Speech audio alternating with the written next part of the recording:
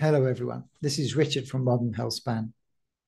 Recently, hydrogen water has received some attention as having special health benefits. I was skeptical when I first heard of hydrogen water, I will admit. So let's use this review paper, Hydrogen Water Extra Healthy or a Hoax, published in January this year, to look at the data and you can decide what you think. Hydrogen rich water has been shown to have benefits in health and wellness. The main mechanism appears to be as an antioxidant, and it was also has anti-inflammatory and anti-apoptotic effects. The review includes 25 studies based on human trials. The trials covered exercise capacity, physical endurance, liver function, cardiovascular function, mental health, COVID 19, oxidative stress, and anti aging. The results are encouraging, but more studies are needed. We will look at some of these in more detail in this video. There is some explanation of the proposed mechanism, but more research in this area is also needed. First off, what is hydrogen water? It is water which has molecular hydrogen dissolved in it. This can be done by putting hydrogen under pressure into the water, but there are other ways, and we will look at these in a moment. Hydrogen forms a stable molecule, H2, which is very small and can dissolve into water. It does not dissociate into hydrogen atoms or ions, but remains as H2 molecules and will remain dissolved in the water for a while. As well as the pressure mechanism mentioned above, it can also be produced from tablets and infusion machines. We will look at these mechanisms in a minute. Once created, hydrogen water can be consumed orally, and hydrogen is easily absorbed because it is small and nonpolar. It will, in fact, go through cell walls and even into the mitochondria. It is also effective at small concentrations. Before we get into how to create hydrogen water, a note on concentrations and dosing. The concentration in the studies are either given as parts per million or even parts per billion or millimoles Assuming that ppm is based on mass, ppm is the same as milligrams per litre, as there are a million milligrams of water in one litre. A mole of molecular hydrogen weighs about 2 grams, so 1 millimole is about 2 parts per million. So to get from parts per million to millimoles, divide by 2. Let's have a look at ways to get hydrogen water as a consumer. Note that the image of the commercial products on this site are just examples that I found. I have no affiliation with them and have not tried them. First is a hydrogen infuser.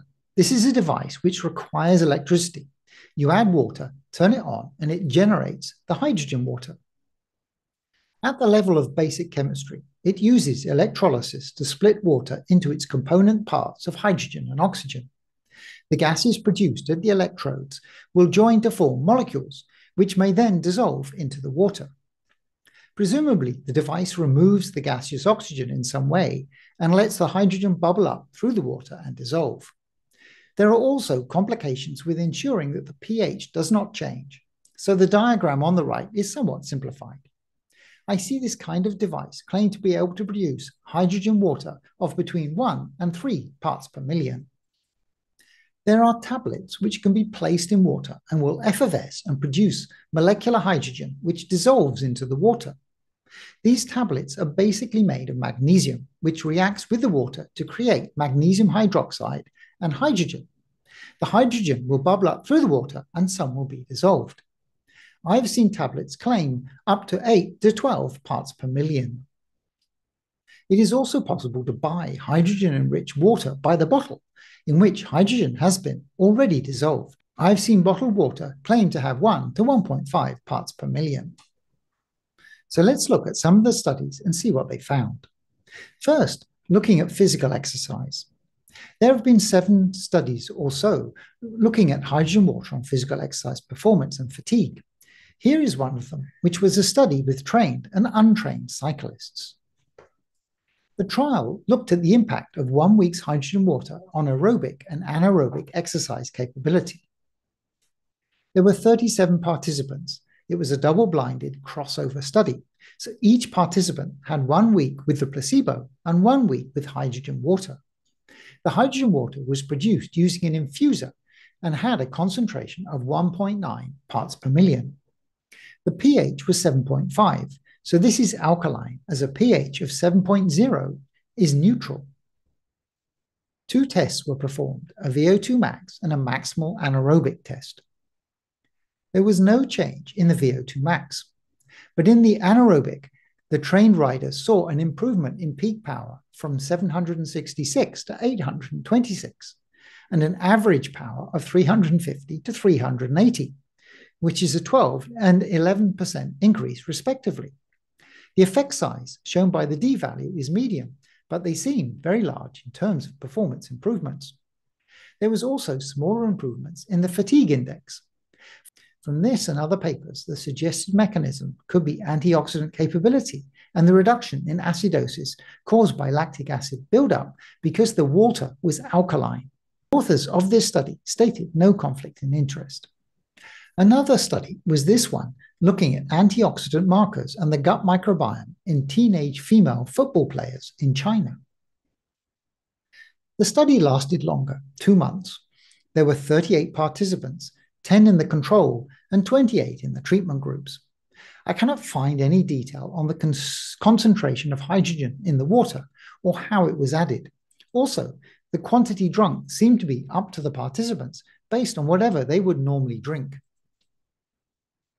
The hydrogen water group saw a decrease in oxidative stress, as shown by a decrease in malondialdehyde, a marker of fat peroxidation, and an increase in oxidative capacity, shown by the superoxide dismutase levels, among others. Inflammation also decreased with lower interleukin 1 and 6 and TNF alpha. It also improved the diversity of the gut microbiome. There was one paper that saw no improvement. This was with trained runners in a 4.2 kilometer uphill race, which may be testing the aerobic capacity. So this could agree with the first study, which saw an improvement in anaerobic but not aerobic results. There was also a study which showed that pre workout hydrogen could reduce fatigue and help endurance, potentially through mitigating lactic acid buildup. Turning to cardiovascular disease risk, hydrogen water has been shown to reduce blood lipids. In the first study, there were 20 participants, male and female, with an average age of 55, of whom 10 were smokers and 10 were non smokers. The study lasted 10 weeks, with hydrogen water was produced from magnesium tablets. The hydrogen was 0.2 millimoles and it had a pH of between 7.8 and 8.2, so it was quite alkaline. The dose was one litre per day.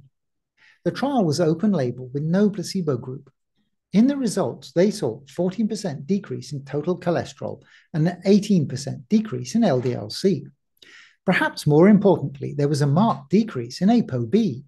For non-smokers, there was no change in glucose and triglycerides. The level of HDL-C was not changed, but the authors say that the function was improved. In another open-label eight-week study of 20 participants, Patients drank 1.5 to 2 litres of hydrogen water a day. The water was again made with magnesium tablets, but they don't give a concentration for the hydrogen. As in the other studies, there was a significant increase in antioxidant capability. Here, TBARS are a way of measuring oxidative stress. In this case, HDL-C was increased by 8%, and the cholesterol to HDL-C ratio decreased by 13%. LDL-C did change, but it was not to a significant level. In the third study, there were 60 participants, evenly split between men and women. The hydrogen water was at a high concentration of 5.5 millimoles, but was produced from magnesium tablets in a similar way to the other trials. There was a randomized placebo controlled trial for 24 weeks.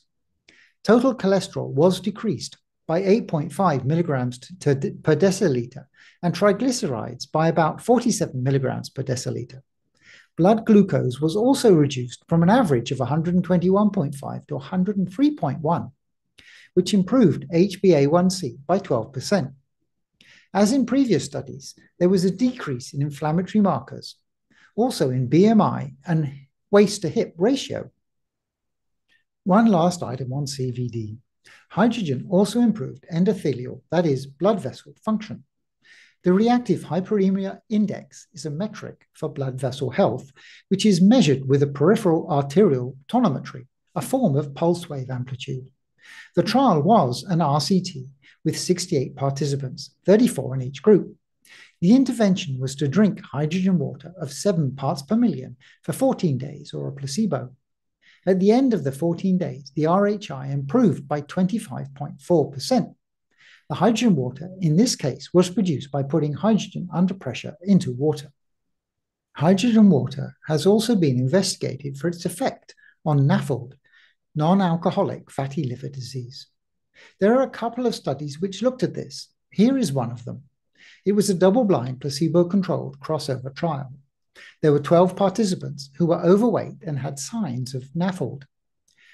The average age was 56. The intervention was to drink one litre of hydrogen water or placebo for 28 days. The hydrogen water was generated from, from magnesium tablets and had a concentration of 3 millimoles. In the study, they used MRI to look at the deposits of fat in the liver and focused on special regions of interest or ROIs. The fat content in region 8 was significantly lower at the end for the hydrogen group. The overall fat was reduced by 2.9%, and the AST blood levels, a marker of liver health where lower is better, decreased by 10%. There is one trial which looked at how hydrogen water affects some of the markers of aging. The trial was for six months, with the participants drinking half a litre per day. There were 40 participants over 70 and evenly split between the sexes. The hydrogen water was at 15 parts per million, which is higher than the other studies and probably difficult to get from a consumer device.